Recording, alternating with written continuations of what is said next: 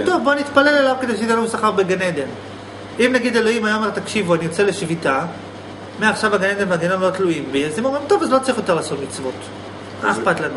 אומרת שהוא בכלל, הם לא אכפת להם ממנו, בכלל אכפת להם מה, מהגן עדן שהוא אמור לתת להם. אותו דבר, בן אדם חילוני, או בן אדם שאומר, אני מחפש את האמת. למה אתה מחפש את האמת? כי תגרום לי להרגיש טוב. אז אתה לא מחפש את האמת, האמת עובדת אצלך בסך הכל. אתה לא, מה אכפת לך מה האמת?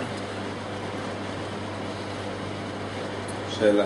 ולכן לחפש את האמת, תבין, אני גם חייב להסביר למה. זה- כי זה- אתה לא יכול לחפש את האמת לא באמת, כי אז אתה לא באמת... זה אותו דבר, רגע, שאלה. זה אותו דבר כמו נגיד, להיות אמיתי זה אומר, נגיד, אני רוצה הרבה כסף, כן? טוב מאוד. להיות אמיתי זה למה אתה רוצה הרבה כסף? כי אני רוצה הרבה כסף, זה התשובה? מצד האמת, כן. וזה אמ- זה להיות אמיתי? לא בגלל שאני רוצה כסף אלוהים, למה אלוהים ברא את העולם? למה אלוהים ברא את העולם? לא, כי אם אתה רוצה כסף כדי שיהיה לך בית גדול, אז אתה לא רוצה את הכסף, אתה רוצה את לא הבית אמיתי. הגדול. זה, זה נקרא להיות אמיתי או לא אמיתי. השאלה היא איך אתה חווה את הרצונות שלך. כשאתה אומר למישהו אני רוצה כסף, מה אתה חווה? שאתה רוצה את הכסף או אתה רוצה את מה שהכסף ייתן לך? כשמישהו אומר אני רוצה זוגיות, מה אתה רוצה? את הזוגיות או את מה שזוגיות תיתן לך? כשאתה אומר אני רוצה אה, לא למות, אתה לא, אתה לא רוצה למות או שאתה, או שאתה לא רוצה לחוות את מה שאתה חושב שיקרה לך אחרי המוות? מה אתה באמת רוצה? ואם תהיה מספיק אמיתי, בסופו של דבר אתה תחווה את, את האין רצון. כי אתה תבין שאתה לא באמת רוצה את זה. בכלל אתה לא רוצה שום דבר, זה רק קורה מעצמו או משהו כזה. להיות אמיתי פירושו להכיר את עצמך. בוא נחבר את זה. בוא, שגם תבין מה זה פרקטית. פירושו להיות מוחלט, להפסיק לשקר. רבי נחמן אומר להיזהר לא להוציא דבר שקר מפיו. אל תשקר. עכשיו, עכשיו לא לשקר, הכוונה לא לשקר פה. אתה יכול לשקר, פה זה עולם השקר, פה כולם משקרים כל הזמן. אתה יכול לשקר, אין בעיה שתשקר. הרעיון הוא שאל תשקר פה. אל תשקר ותגיד אני רוצה כסף. כאילו, מה אתה רוצה? כסף. למה אתה רוצה כסף? כי אתה רוצה שיקנה לך בית, נכון? אז מה אתה רוצה? את הכסף או את הבית? את הבית. אז אל תגיד אני רוצה כסף. עכשיו, למה אתה רוצה בית. כי אתה רוצה שקט נפשי. כן. אז מה אתה רוצה? את הכסף, את הבית או את השקט הנפשי?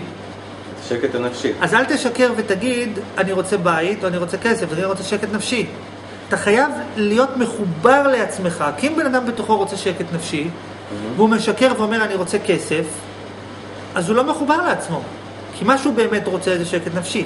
אבל הוא משקר ואומר אני רוצה כסף. אז אנחנו מעלים גם את הרצון לשקט הנפשי, כי גם את זה אמורים לאט להעלים. לאט, כל מה שאנחנו צריכים זה שבן אדם יתחבר לעצמו לאט לאט. בן אדם צריך להיות אמיתי, מה באמת אני רוצה?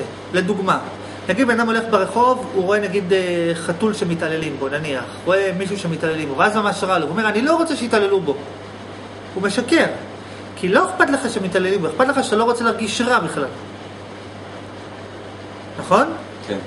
זאת אומרת, אם הוא אומר, אם הוא אומר, אני לא רוצה שיתעללו לא- בחתול, בעצם מה שאתה רוצה זה לא להרגיש רע עם זה לא אכפת לך מהחתול, אל. תהיה שקרן, אל תגיד כן. שאכפת לך מהחתול, אכפת לך מזה שאתה מרגיש רע.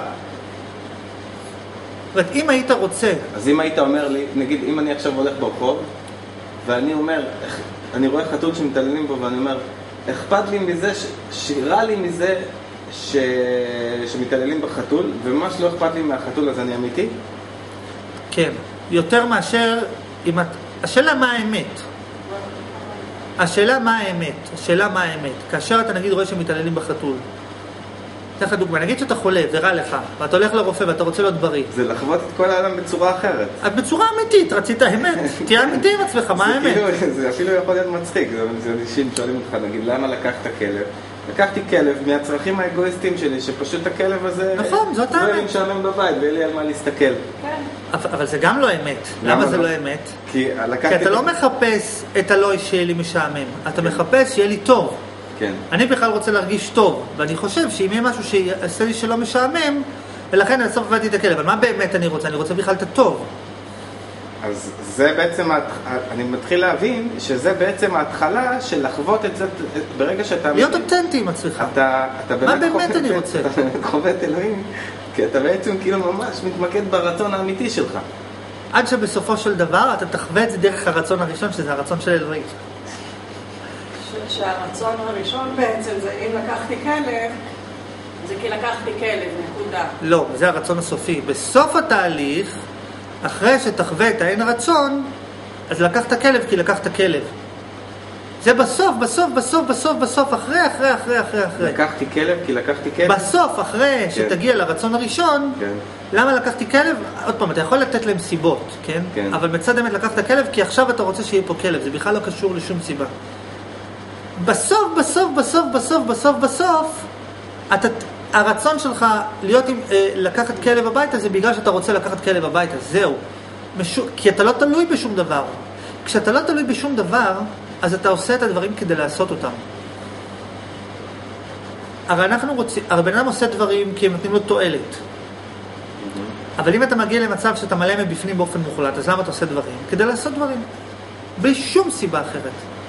אני אוכל כדי לאכול, כי אין לי שום משמעות אם אני אחיה או אמות, אין שום משמעות אם אני אהיה בריא או חולה, הסיבה היחידה שאני אוכל זה כדי לאכול. עכשיו אתה יכול לשאול, אז למה אתה דווקא אוכל ולא עושה משהו אחר? זו שאלה אחרת. אבל הרעיון הוא, אבל זה בסוף, בסוף התהליך אתה ממש תחווה, למה יש פה עמוד? כי עכשיו אני רוצה שיהיה פה עמוד. זה הסיבה, אין שום סיבה נוספת. אבל זה בסוף התהליך. אבל רגע, ואני רוצה לתת את הדוגמה, עוד פעם נגיד, נגיד שבן אדם נגיד רואה אה, חתול, נגיד שמתעללים בו לדוגמה, אוקיי? לא, בוא נגיד ניתן דוגמה, נגיד בן אדם נגיד ששוכב חולה במיטה. הוא אומר, רע לי, אני רוצה תרופה, אני רוצה תרופה, אני רוצה ללכת לרופא, איפה הרופא, מתי, מתי יבוא הבוקר שהרופא יהיה, נכון? כן. הוא משקר. למה הוא משקר? עוד פעם, זה, אתה יכול ללכת לרופא, כן? אבל תזכור מה אתה באמת רוצה. מה שאתה רוצה זה לא להרגיש רע. לא אכפת לך בכלל, לא, נגיד בן אדם נגיד חולה שכואב לו לדוגמה. ומה שאתה באמת רוצה זה לא להרגיש רע. לא אכפת לך שאתה חולה. אם היית חולה ולא היית מרגיש, והגוף לא מפריע לך, לא אכפת לך. לא באמת אכפת לך מזה שאתה חולה. אכפת לך מזה שאתה מרגיש רע עם זה שאתה חולה.